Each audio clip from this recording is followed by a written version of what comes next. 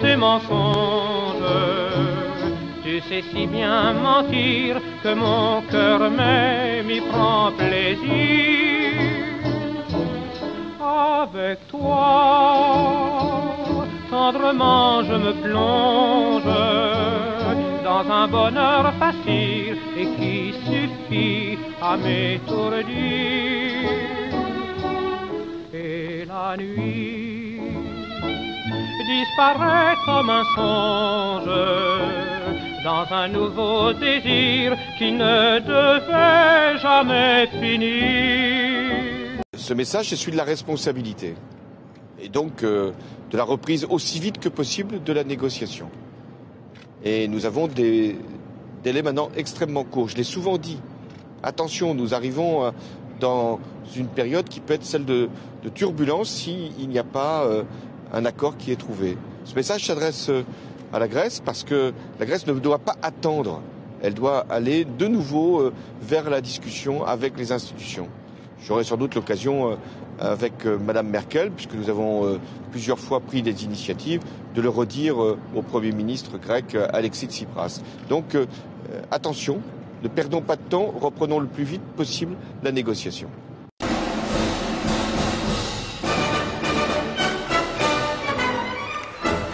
Today, Sunday, Spain heads to the polls for regional elections.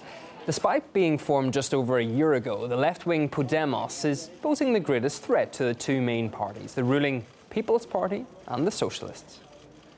Pero un gobierno de verdad negocia pensando en su gente, no pensando en recibir palmaditas en la espalda de la emperatriz Merkel. No se rescata a un país, no se rescata a una tierra, hundiendo a su gente, hundiendo a sus familias. Hemos visto rescatar muchos bancos. Jamás, jamás hemos visto rescatar una frutería. Y yo le he dicho, contra los alemanes nada, son nuestras hermanas y nuestros hermanos. Contra Merkel todo, contra Merkel todo.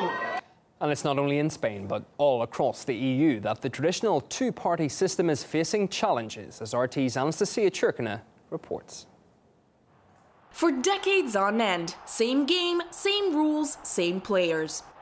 Across the EU, spectators, who are essential to any game, especially a democratic one, are growing increasingly weary of the same old two competitor face off on the political pitch. And supply is meeting demand as the traditional house of cards of the two party system collapses in country after country across the European Union. Spain, Europe's fifth largest economy, has had the same election routine since the end of dictatorship in the 1970s, with two main political parties stuck in revolving doors. But these days, newcomers are a thorn in their side. The panorama uh, has changed completely. The traditional oligopoly of uh, two political parties is going to disappear. Enter Podemos, read We Can from the left. If you support the possibility of a political change in Spain, if you support democracy, you can be with us. And Ciudadanos, aka citizens from the right. A political landscape is emerging in which there will clearly be a need for agreement. The new kids on the block sit neck and neck with the two old heavyweights, the governing People's Party and the opposition Socialists, in an election season seen as the most important in Spain in decades. And this trend continues throughout Europe, and it ultimately means that people no longer have faith in the political institutions. We have seen in Germany the SPD hardly mustering about uh, more than 25%. We see in Britain how the Labour Party is in finds itself in decline. Britain's also recently seen the established two-party system sent packing. In the latest parliamentary election, the Scottish National Party gained major ground. Previously seen as a political underdog, it's now a force to be reckoned with in the UK. A bit earlier, Greece also experienced a vibrant party system shakeup. After years of domination by two key giants, the anti-austerity Syriza party took the country by storm. We stand at crossroads where the situation is unclear, uh, what will happen in Europe in the next five years. But all we can say is, is that there will be a continuous input of new parties coming to the fore. As the established two party system traditionally prevalent is increasingly pushed aside and new forces stride forward, the political map of Europe is set to become a lot more colorful. Anastasia Churkina, RT, London. It has been hailed as the Icelandic miracle by the media. The Nordic nation is set to become the first European country to beat its pre crisis economic output. Back in 2008, the country suffered the biggest banking collapse in history. Seven years on, it's one of the best countries for business. Its GDP is on the rise and the coffers have all filled up. And in fact, there's even a budget surplus now. And inflation is at its lowest point since before the recession. Iceland's president is now giving lectures to leading business schools. What did we do that's different? We did things that were considered absolute taboo. First of all, we let the banks fail. Secondly, we did not introduce uh, the similar kind of austerity measures that have been almost mandatory in many other countries. The cure was simple. Iceland let its out of control banking sector go bust and put the executives behind bars for manipulating the market. Though that's when the UK was handing out massive rescue packages and the White House was buying huge stakes in the country's banks. An economics professor from the University of Iceland thinks other countries should learn from this type of recovery. With the collapse of the financial systems, instead of bailing them out, those who lent into the mess had to take responsibility instead of, uh, as you've done with the bailout packages, where the costs of the financial bubble are transferred to ordinary people. And we were not part of any, we weren't part of the of the European Union, so there was no proper lender of last resort. Unlike Greece, Iceland had the temporary benefit of having its own currency, and we've enjoyed also a tremendous uh, growth in tourism uh, post-crash, which has softened the blow for much of the services in Iceland. And so the balance sheet of the Icelandic government remained relatively clean um, after the crash. Alors cette tribune d'Arnaud Montebourg et de Mathieu Pigas, est-ce que vous auriez pu la signer Elle est intéressante, mais euh, et moi je la prends bien. Elle va dans mon sens, euh, au moins sur un sujet fondamental, qui est le fait que la politique de la France, si elle continue à se faire euh, sur les injonctions de Bruxelles et du gouvernement dit de Berlin, dans le texte de M. Pigas et de M. Montebourg, c'est-à-dire une politique euh, d'austérité, on ne va pas la résumer à cet instant, mais tout le monde la connaît.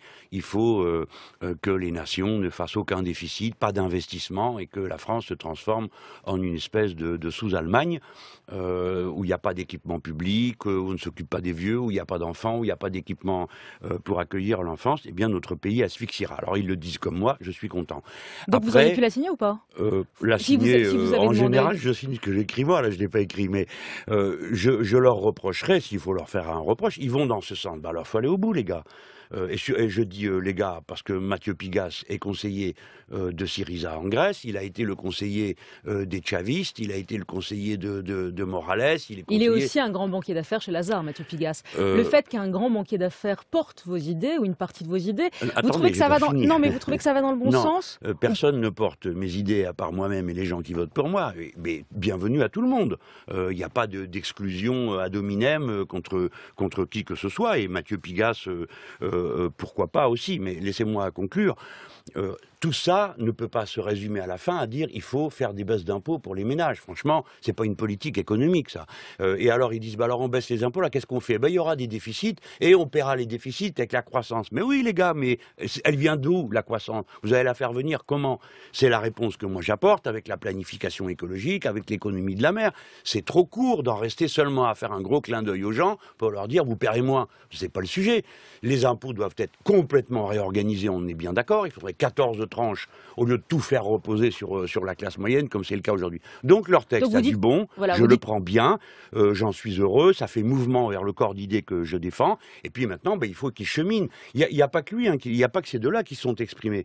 Hier, vous avez eu M. Pouria Amir Chahi, qui est député socialiste des Français de l'étranger.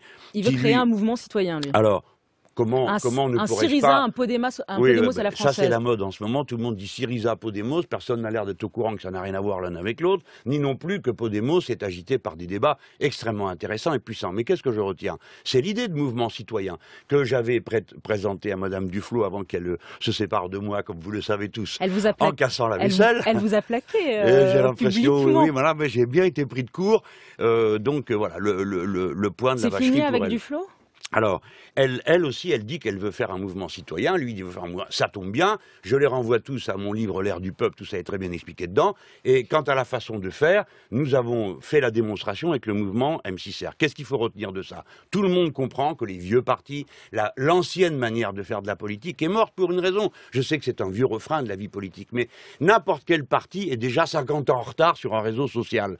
Par conséquent, la capacité qu'ont les gens, par des appels citoyens, à constituer des mais il faut aller au bout là aussi, les gens. Il ne faut pas simplement s'imaginer que vous allez changer vos, vos costumes et voici mes habits neufs, le mouvement citoyen. Non, le mouvement citoyen, c'est les citoyens Donc qui vous dites décident. à Arnaud Montebourg, il faut quitter le PS, c'est ce que vous dites Il faut quoi? Quitter le PS.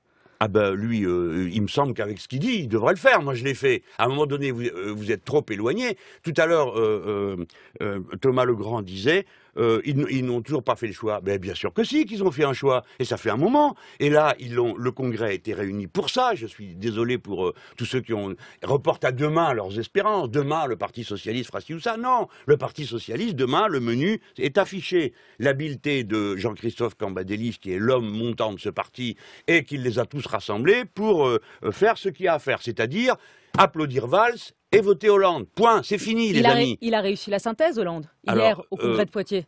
Hollande, lui, a- il cueille les fruits tout le temps. hein. Il attend tranquillement que ça se passe tout seul et que les fruits tombent de l'arbre. Il cueille pas. Bah, il a Euh, réussi, voilà, là. les Il a raison, il a, il a réussi. Mais la stratégie il ne lui reste plus en travers de son chemin que euh, une forme de résistance, celle qu'oppose aujourd'hui euh, le Front de gauche et votre serviteur euh, que, que vous Donc aujourd'hui, le principal Voilà, adversaire tout, de il a le- liquidé tout le monde. Il reste plus que vous. Euh, c'est moi si vous voulez, mais pourquoi pas De toute façon, moi je ne céderai Bah, pas. ce que vous et dites. c'est même pas la peine d'essayer euh, de me faire céder. Mais pardon, laissez-moi vous dire ceci. La question de l'implication citoyenne est très importante. Aujourd'hui, elle passe sous les radars médiatiques. Mais dans tout le pays, des appels citoyens sont en route. Ça fait des mois que des gens travaillent. Et je me cramponne à une idée. Je dis à tous ceux qui veulent des mouvements citoyens, blabla, Syriza, Podemos et le reste, alors allez au bout de votre logique rassembler les citoyens et constituer des assemblées représentatives des citoyens. Les partis joueront leur rôle, mais que les citoyens s'impliquent. Les gens, si vous vous en mêlez pas, ils vous rouleront dans la farine la prochaine fois comme toutes les autres. Jean-Luc Mélenchon, la loi Macron revient à l'Assemblée nationale ce Oui. matin. Je veux aller vite, a dit Manuel Valls, qui laisse sous-entendre que si ça bloque, pas de scrupule, il réutilisera le 49.3. Un commentaire Oui, oui, eh ben, c'est tout à fait. Maintenant, c'est devenu banal. Euh, le viol du Parlement, eh ben oui, c'est une procédure ordinaire. Et vous avez même le président de l'Assemblée nationale qui dit tiens, pourquoi pas, faut aller très vite. Ah bon, mais je croyais qu'il était président de l'Assemblée nationale, Claude Bartolone. Il est donc d'accord, le président de l'Assemblée nationale, pour que l'exécutif s'assoie sur le législatif. C'est un fait. Je ne crois pas qu'il y ait un autre pays au monde où on fait un truc pareil. Il y a la loi en Macron. démocratie, bien sûr. Il y a la loi Macron et il y a une dizaine de mesures qui va être annoncée demain pour les TPE, PME. Euh, on annonce un assouplissement des seuils sociaux et notamment un plafond pour les indemnités de licenciement au prud'homme. Bon, il faut examiner ça de près, c'est très technique. hein. Bon, c'est toujours la même affaire. Euh, c'est deux, deux affaires en une. Premièrement, ils sont persuadés que ce sont les règlements, les charges euh, qui posent problème. Tout ça, c'est du blabla. Ce qui pose problème à un petit patron d'une petite entreprise ou une petite patronne, c'est le carnet de commandes. C'est pas le reste, le carnet de commandes. Quand ils ont le carnet de commandes rempli, ils râlent parce que les Français nous râlons tout le temps. hein. C'est dans notre nature et c'est bien parce que ça oblige tout le monde à faire attention. Il faut